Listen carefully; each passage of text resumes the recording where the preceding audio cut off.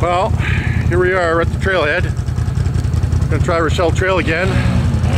Last time I hit this trail, headed upside down a little bit. But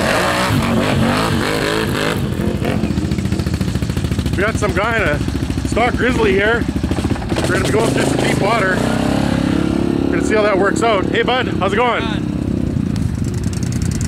We got Osta Cruiser. He's uh, running tracks today.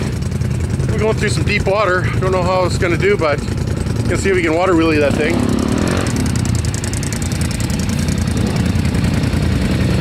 We got messing around. He left the uh, Razor at home. He's running his new scrambler. So he's gonna kick some ass today.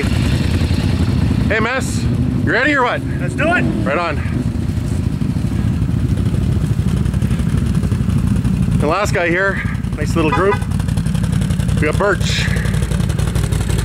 Birch, you ready to rip this stuff up or what? As much as you are. All right. Well, like I say, I'm gonna try and keep the shiny side up and not swamper this time. So, raining today. It's supposed to be uh, 20, 25 mils. So, we'll see how it turns out.